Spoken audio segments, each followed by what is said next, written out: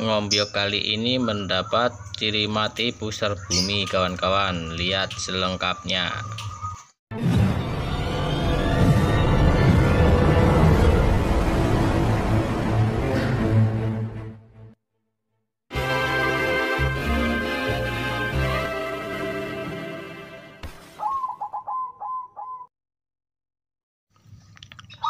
Assalamualaikum warahmatullahi wabarakatuh. Salam Rahayu Salam sejahtera Sehat selalu dan Semoga selalu diberi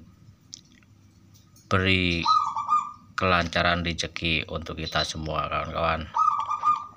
Oke kawan-kawan Untuk selamat datang Selamat bertemu kembali Bersama Wandi Cukreng Ngajak sinau bareng Tentang burung perkutut di Ombyokan. Oke kawan-kawan untuk eh, kesempatan kali ini Wandi Cukreng mau mencoba melihat-lihat lagi di ombyokannya Mas Tono. Untuk sekarang masih di ombyokannya Mas Tono. Yang mau coba-coba melihat-lihat atau merapat ke tempatnya Mas Tono nanti nomornya saya cantumkan di deskripsi nanti eh, bisa kontak-kontak mau merapat atau eh, untuk coba-coba melihat untuk perkututnya. Ini asli dari Blora. Itu kan kawan. Dan untuk kali ini saya mau mencoba mencari-cari lagi. Nanti dapatnya apa? Ini juga kebetulan eh, ikut bongkar-bongkar lagi. Soalnya barang juga eh, burungnya juga baru datang dari Jawa. Soalnya kenapa kalau nyari di ombyokan selalu malam ini soalnya eh, datangnya ini sebetulnya ini men, eh, subuh ini kawan-kawan. Nyampe Tangerang itu subuh. Mungkin dari sananya sore.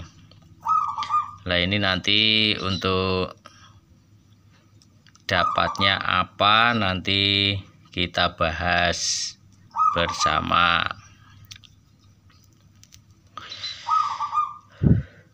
Oke kawan-kawan soalnya kalau untuk milih perkutut ya harus sabar harus sabar harus diteliti harus dicermati dan harus dipelototin sambil ngopi ngarokok supaya bisa dapat apa yang kita inginkan. Gitu kan kawan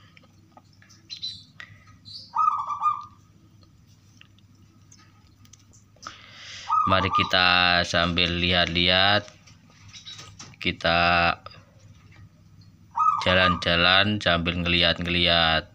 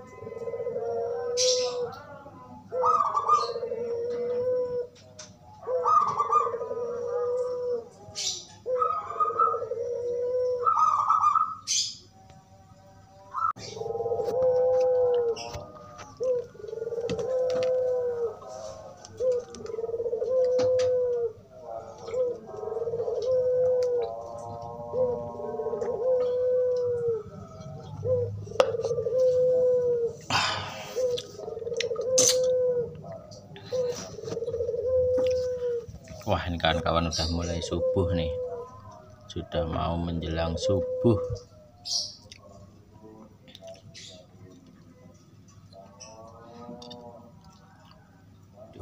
Bangun bangun bangun. Sambil melihat bergurung berkutut bangun bangun.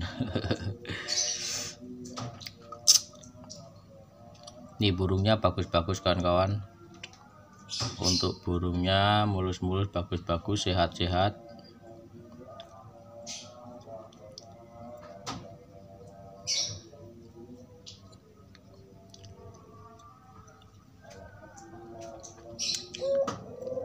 Kawan-kawan yang mau uh, isi kios mau yang party besar sama ecer boleh merapat atau berkontak-kontak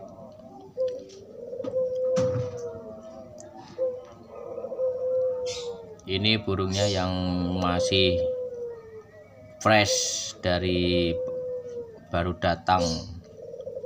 Tuh masih pada sehat-sehat. Ini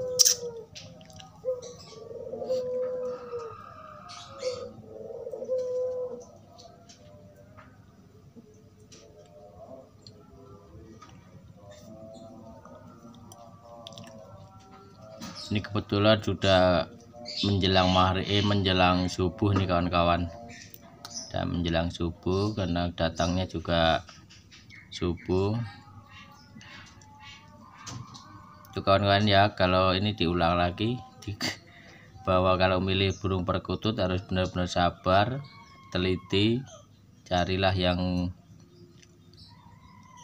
badannya bagus jangan yang murung Nah, itu yang kuncinya di situ.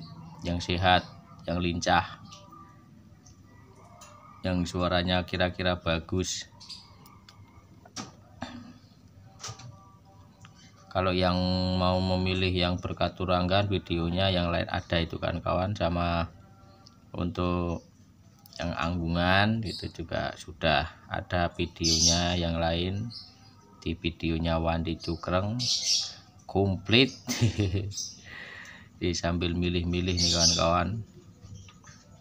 Sambil milih-milih. Sini murah meriah kawan-kawan, murah meriah. Ini juga bagus tuh. Bodinya bagus. Tuh, lincah.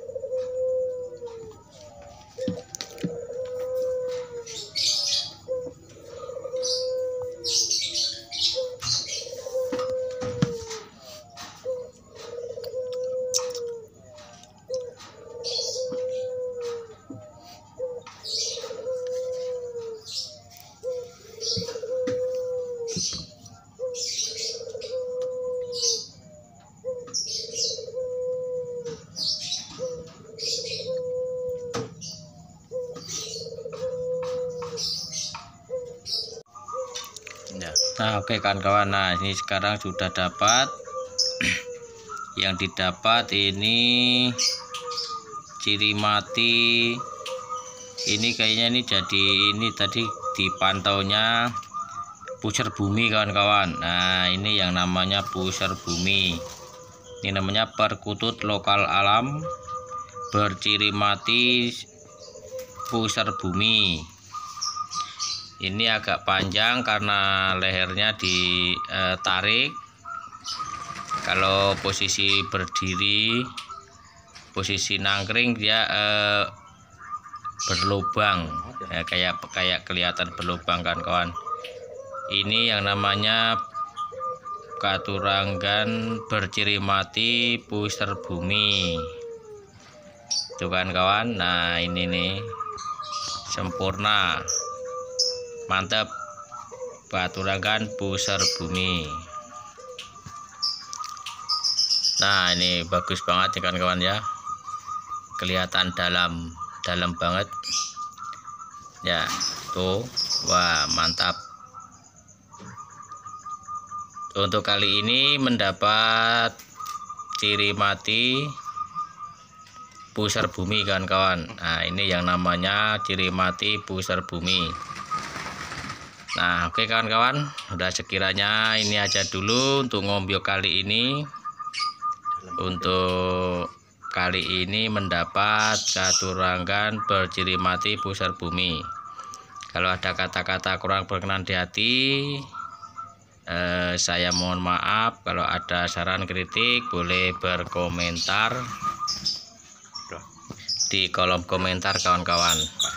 Kalau ada eh, kata-kata yang kurang berkenan di hati atau yang salah-salah nanti bisa untuk mengoreksi di kolom komentar supaya kita bisa belajar bareng mencari pengetahuan kawan-kawan tentang mencari burung perkutut di ombyokan oke.